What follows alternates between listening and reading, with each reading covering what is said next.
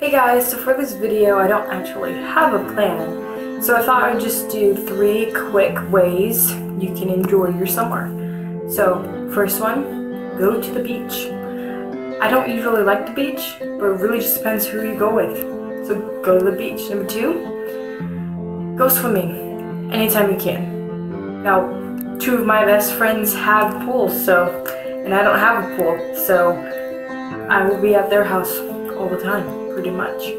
Number three, get some rest because, you know, summer doesn't come around all the time. That's weird. anyway, summer is very short, may seem long, but then you're gonna be back in school, back to working, back to doing crazy things.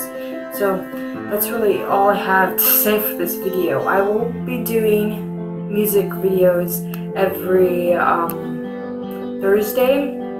So if you want me to do a certain song, go ahead and comment below. And then go ahead and use my hashtag Becca's Pros and Cons for a video on Tuesday. And I'll see you guys later. Bye!